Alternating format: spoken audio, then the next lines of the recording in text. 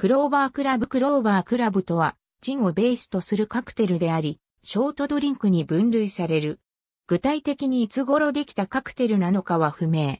使用するグレナデンシロップの量やメーカーにもよるが、仕上がりの色は基本的にピンクとなる。この仕上がり色がピンクレディトの混同の一因となっている。味はライムジュースを使うか、レモンジュースを使うかで変わってくるので、どちらを使うのかを指定するのが望ましい。ドライジン、グレナデンシロップ、ライムかレモンのジュース、卵白を強くシェイクして、大型のカクテルグラスに注げば完成である。ここで、もしもミントの葉を飾ると、カクテルの名称が変わってしまう。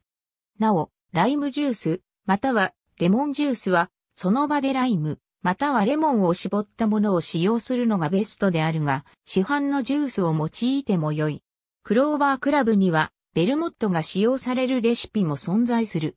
ドライジン、スイートベルモット、グレナデンシロップ、レモンジュース、卵白を強くシェイクして、カクテルグラスに注げば完成である。なお、レモンジュースはその場でレモンを絞ったものを使用するのがベストであるが、市販のジュースを用いても良い。このレシピで作ってもジンを一番多く使用するため、ジンベースのカクテルであると考えることができる。なお、こちらも、ショートドリンクに分類されるカクテルである。この節の参考文献クローバークラブと同じくジンをベースとするカクテルにピンクレディというカクテルがある。本来ならばクローバークラブと呼ばれるべきカクテルがピンクレディとして作られるという現象が起きているのだ。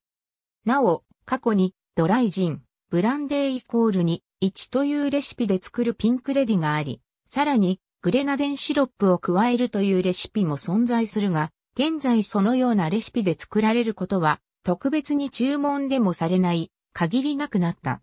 よって、ここでは、この2種のレシピのピンクレディについては考えないものとする。ピンクレディには、レモンジュースやライムジュースが使われることは、本来ならばない。したがって、もしもピンクレディにレモンジュースが使われた場合、それは、ピンクレディではなく、クローバークラブである。レモンジュースが使われるか否かが、二つのカクテルの大きな違いなのである。参考までに、クローバークラブと本来のピンクレディの材料の比較をしておく。ピンクレディにレモンジュースが使用されるというクローバークラブと混同されたレシピはかなり広まってしまった。比較的新しいカクテルに関する文献を見ると、レモンジュースを使うピンクレディをしばしば見かける。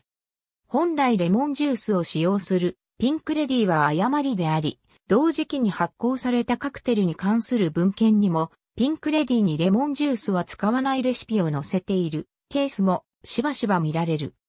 つまり、レモンジュースを使ったジンベースのカクテルをピンクレディと呼ぶ文献と、それを認めない文献とに分かれているのが現状である。クローバークラブはピンクレディとレシピが似ていること。また、グレナデンシロップと鶏卵の卵白を使用するため、仕上がりがピンク色となることが原因として指摘されている。その他、ピンクレディの方が魅力的な名称であったから、ピンクレディという名称の方が広まったのではないかとの分析もある。つまり、レモンジュースを使用するクローバークラブの方がレモンジュースを使用しない本来のピンクレディよりも口当たりが良かったので、ピンクレディのレシピにレモンジュースを加えてしまった。しかし、名称はピンクレディの方が良いので、クローバークラブという名称が使用されなくなってしまったとの分析である。カクテルには、クラブカクテルというジャンルが存在する。クラブカクテルとは、正式な晩餐会の時、オードブルやスープの代用として出されるカクテルであった。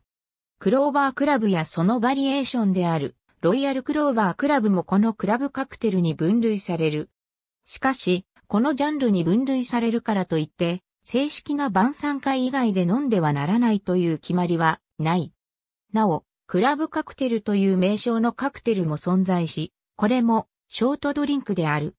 しかし、このクラブカクテルがカクテルのジャンルの一つであるクラブカクテルに分類されるのかは不明。このカクテルは以下のように作られる。